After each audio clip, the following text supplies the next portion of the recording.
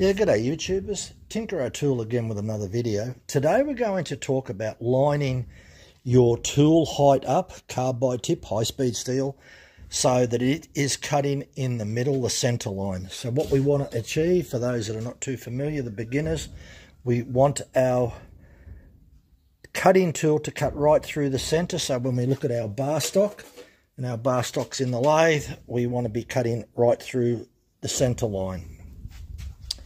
Okay, for the experienced machinists, they don't need to look anymore at this video, uh, unless they want to laugh, that's okay. But for the beginner, you need to pay attention because you need to be turning on the center line.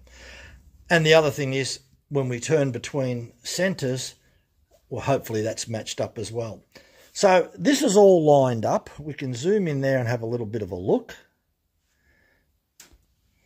Now there it is there. Now, you mightn't be able to see very clear, so what I'm going to do, I took a close-up picture of that, and we're going to put that up on the screen now so we can have a look at that.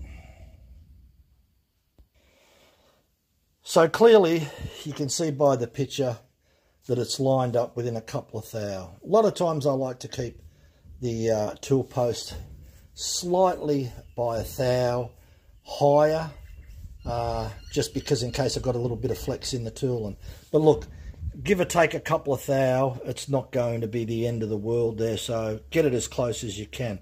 So that's that method on the, the dead stock, uh, uh, on the, yeah, the dead uh, center, I should say, on the uh, headstock.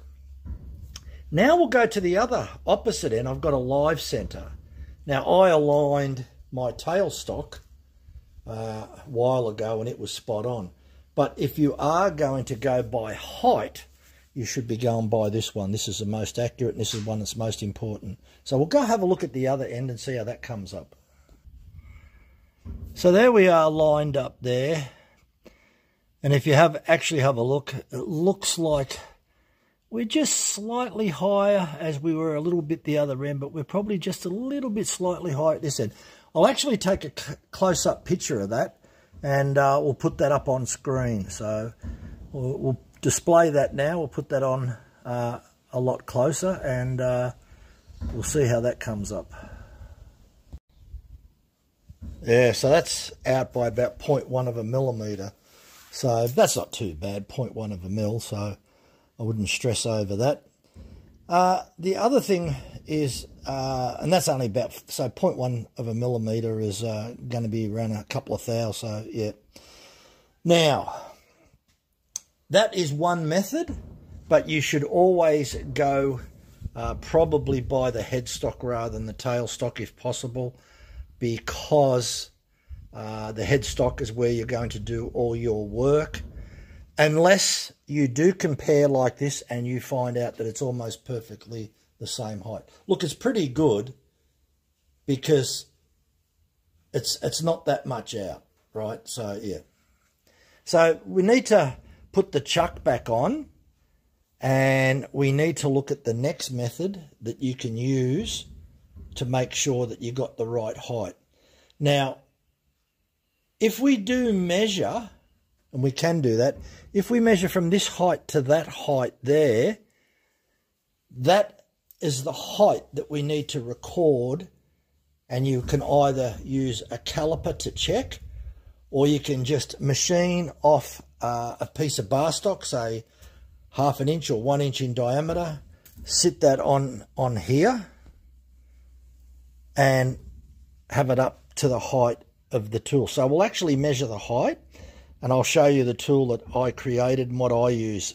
So we'll show you another method after that we use to uh, check the height and maintain that. Okay, so what I'm going to do is use a depth gauge on the vernier.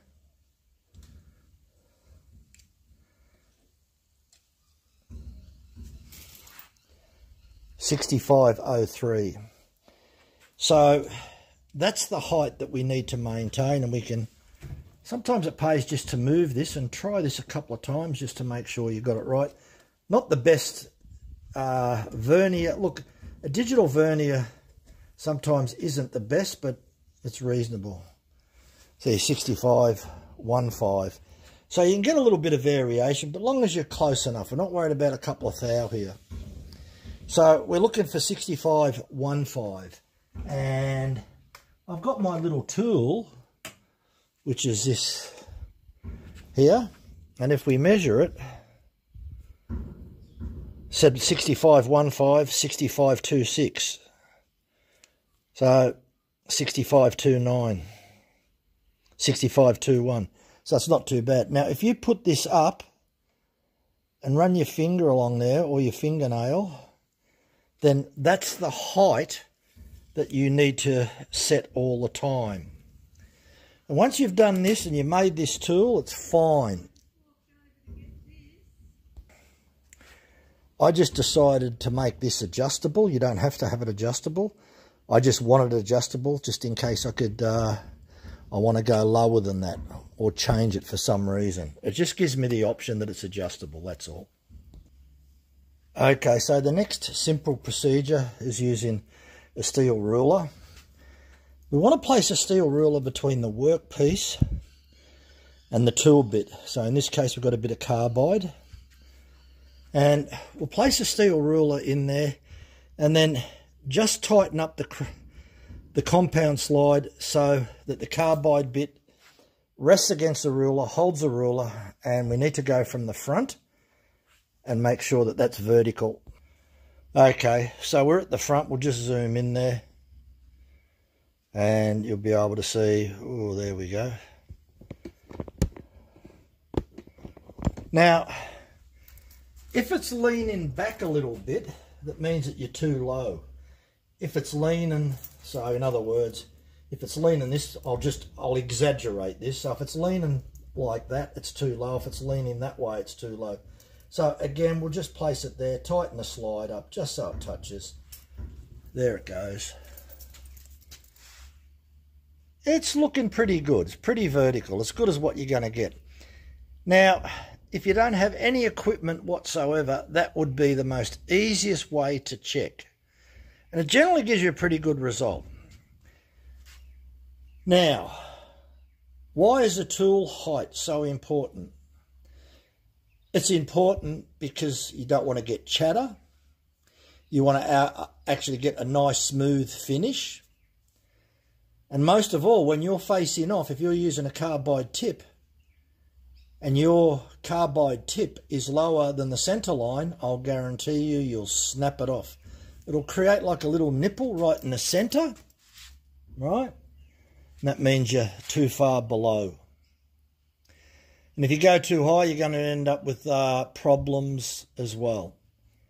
So the easiest way is doing it that way there. All right.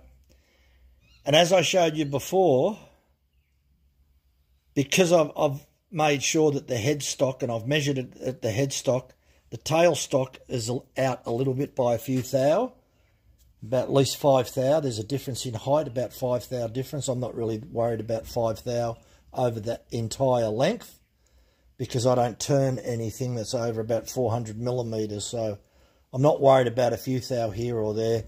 So yeah, not worried about that. I think you could probably go to any lathe unless it was some special precision lathe. Uh, that yeah, that's a different story if it's extremely high precision. This is a 72 year old lathe. Don't expect it to be perfect. That's all I'm saying get it reasonable. If it's out 10 thou, it's up to you whether you want to reshim the headstock. Is it worth it? Are you going to turn things that long? Yeah. Anyway, there is a procedure. That's uh, I do have that procedure on this channel if you want to have a look at that. Headstock, tailstock alignment.